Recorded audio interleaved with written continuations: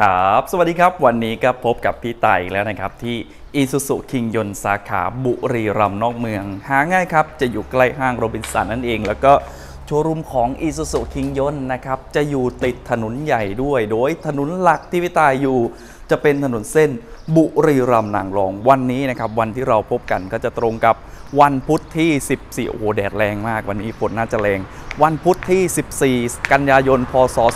2565 นั่นเองก็เดี๋ยววันนี้เราจะไปดูรถด้านหลังที่ FC ขอมานะครับว่าเฮ้ยเขาขอมาเป็นรุ่นไหนกัน แล้วก็เขาเรียกว่าเมื่อวานนะ ก็หลังจากเสร็จเราก็ โอ้โห ดูหมอกหมอกลง เนี่ยดูรถที่จอดไว้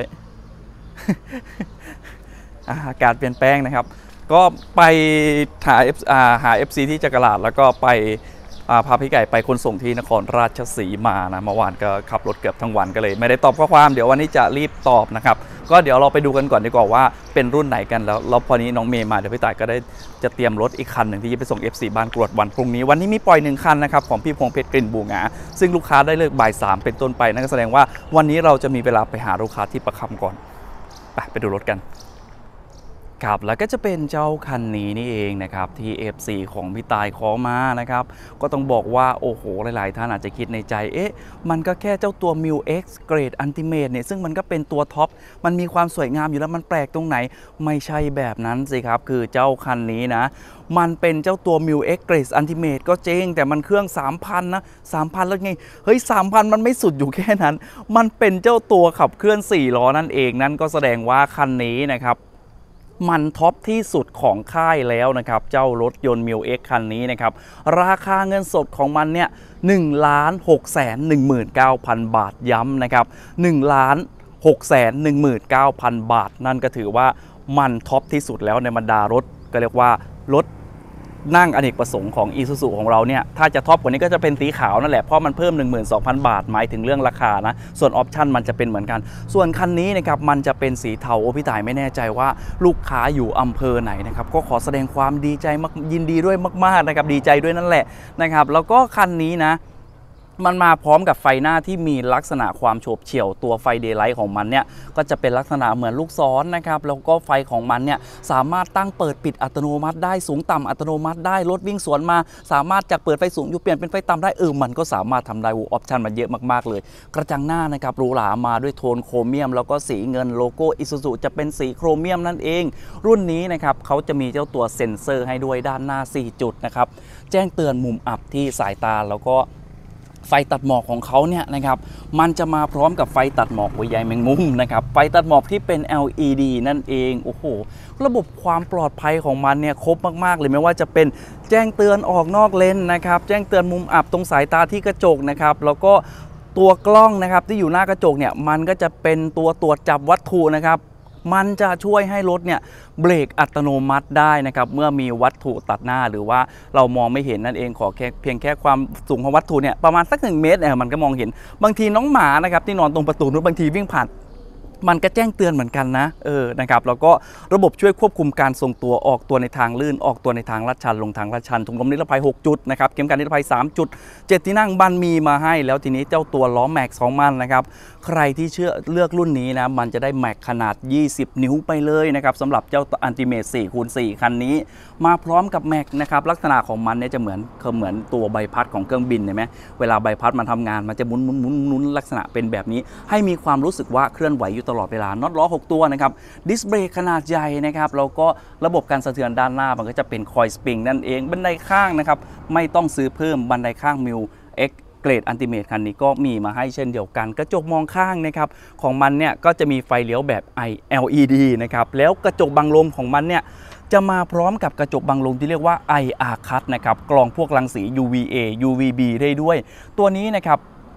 ใบปัดน้ำฝนเป็นใบปัดแบบบิวอินและที่สำคัญนะครับมันสามารถตั้งเปิดปิดอัตโนมัติได้ด้วยนะราวแหลกหลังคานะครับก็มีมาให้เราสามารถใส่กล่องอเนกประสงค์เพิ่มข้างบนได้เขามีจุดยึดมาให้แล้วนะครับแล้วก็ตัวนี้นะมันจะมาพร้อมกับเจ้าตัวกันศาสตร์ที่มีสัญลักษณ์ของ m ิว X เราก็จัดการให้เรียบร้อย โอ้คิ้วกระจกนะครับขอบกระจกของมันก็จะมาพร้อมกับโครเมียม ให้ความหรูหราที่ก็เรียกว่าลงตัวมาก ๆ เลยนะครับสำหรับโครเมียมแบบนี้ ตัวมือเปิดประตูนะครับเป็นสีเดียวกับตัวรถ แล้วก็เราสามารถกดเปิดประตูตรงนี้ โดยที่รีโมทอยู่ห่างจากตัวประมาณสัก 80 เซนกันขโมยมีมาให้นะครับแล้วก็ตัวด้านหลังของเขาเจ้าตัวล้อด้านหลังเนี่ยเหมือนกันนะครับก็จะมาพร้อมกับเจ้าตัว Max ขนาด 20 นิ้วเฮ้ยและที่สำคัญนะ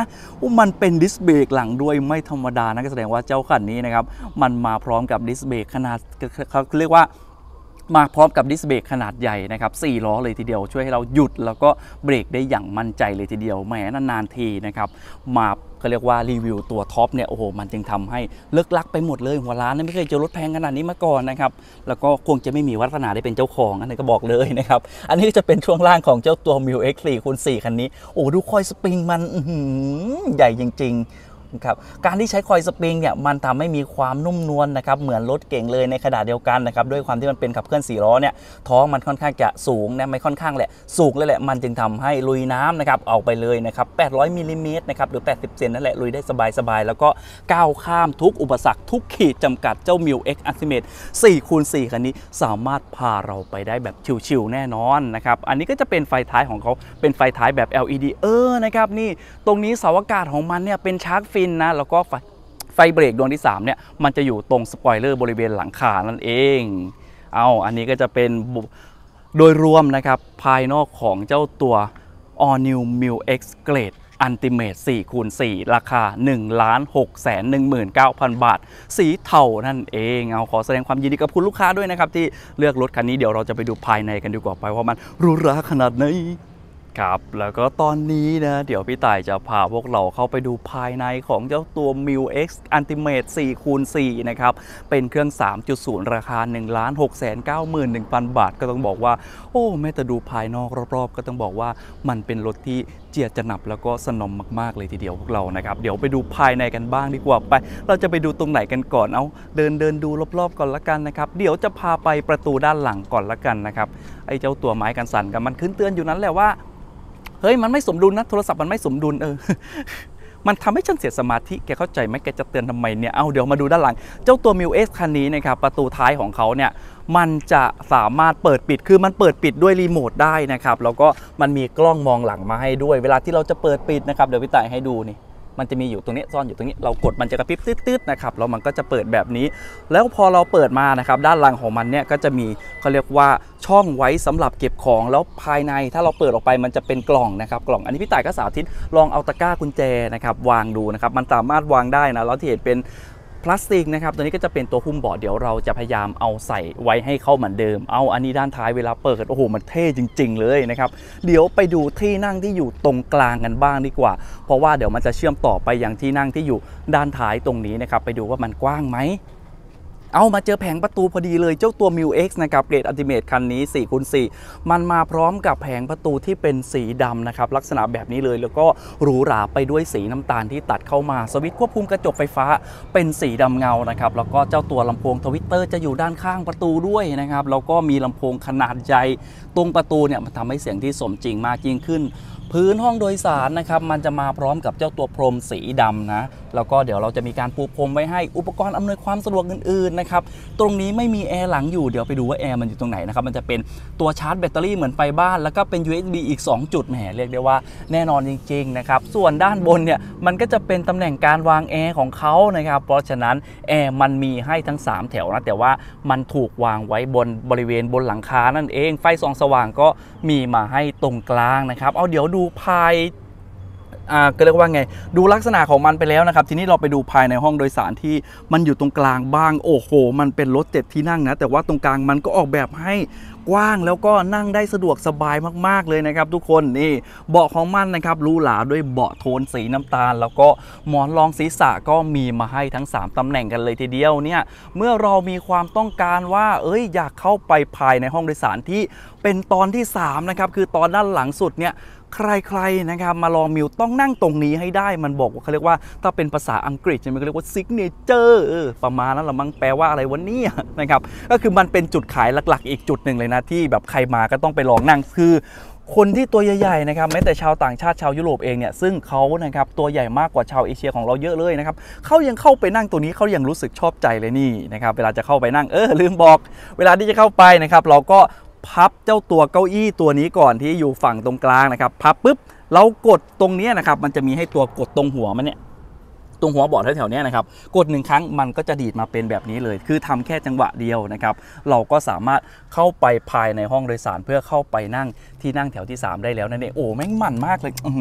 จริง ๆ เจ้ามิวเวลา present เรื่องมิวเนี่ยเนี่ยอยู่ตรงนี้ตรงนี้ตรงนี้นะครับอาจจะเสียเวลานิดนึงนะวันนี้นะนะครับทีนี้เดี๋ยวเราไปดูที่นั่งที่เป็นฝั่งของผู้ขับขี่กันบ้างแผงประตูนะครับเพื่อไม่เป็นการเสียเวลาโอเคแหละนะครับตามสไตล์มิวหรูหรานะครับด้วยการบุนุ่มมาให้แล้วที่พี่ต่ายชอบสุดๆเลยนะครับเบาะนั่งคู่หน้าของมันเนี่ย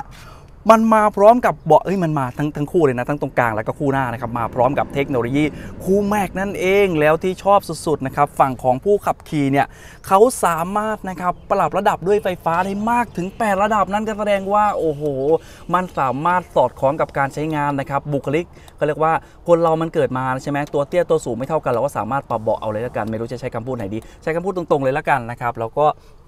ตัวเปิดประตูนะครับมันก็มีให้ตรงนี้ด้วยเปิดฟ้าถังนะครับเราไม่ต้องทำอะไรเลยนะครับเราเพียงแค่